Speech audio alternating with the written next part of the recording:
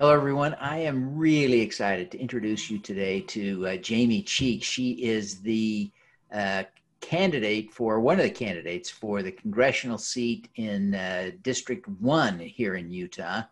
Uh, this is another special episode of Plug into Devin, and we're excited to have you join us today. Jamie, welcome to the show.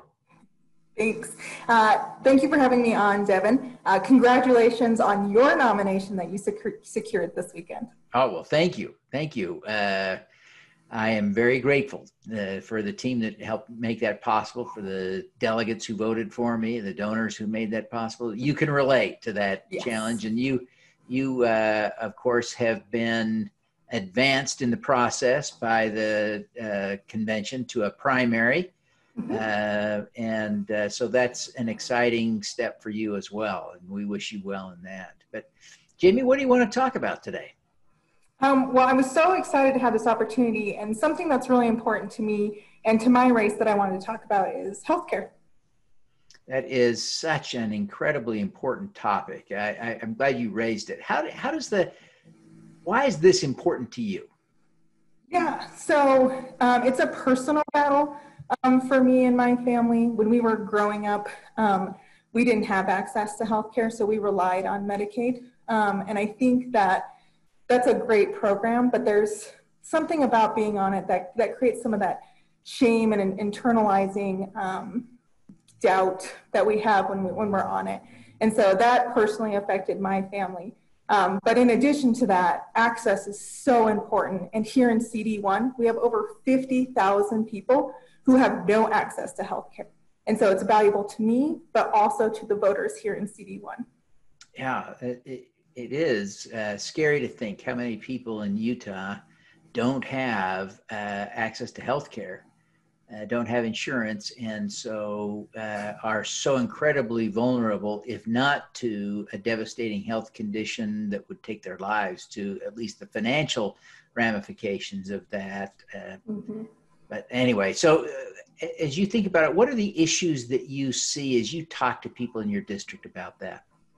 Yeah, so a lot of them um, worry about how to get health care. Uh, in my work as a district director, where we work with people with disabilities, um, we have people coming through our doors who are just falling through the cracks, that they make just enough not to qualify for, for Medicaid, but make too much to access the marketplace, make not enough to afford an insurance premium. And so there are thousands of individuals who just can't get an access anywhere. And so that's why it's so important that we figure out what is the solution to healthcare. Because right now we have a sick system, we need a healthcare system.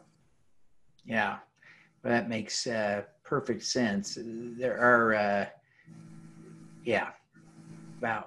What would you change, Jamie? If you could uh, wave a magic wand, what are the changes you would make?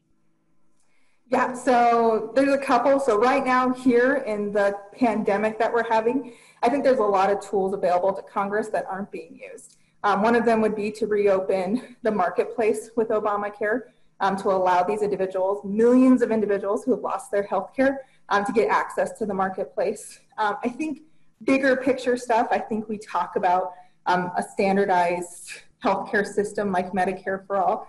I believe in Medicare for all, but I know it's going to take more than a magic wand to make that happen.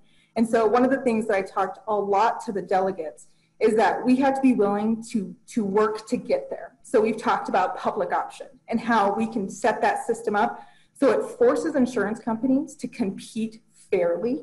Uh, and that pushes us and moves the needle closer. Because remember, Obamacare was way progressive when it started, and we've kind of been fighting it this entire time. So, it's it's not going to happen overnight. We have to be making incremental changes. And so Medicare for all, for sure, uh, but we have to be able to meet in the middle and sort of get, build that bipartisan support so that we can start making inroads on making healthcare affordable and accessible.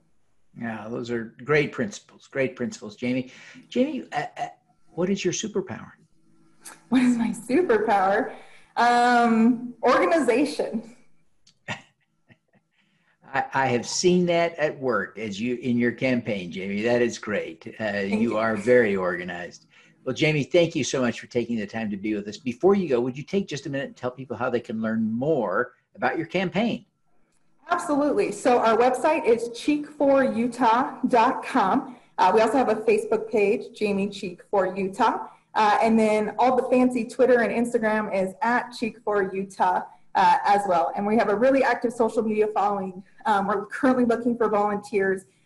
Devin's right, we're in our primary, so this is where we get to have the voters decide. So if you've got time, anywhere you're at, uh, join our team and let's help flip the first.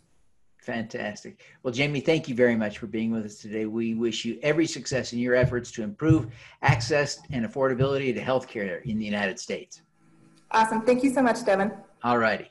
Let's be bold together. Yes.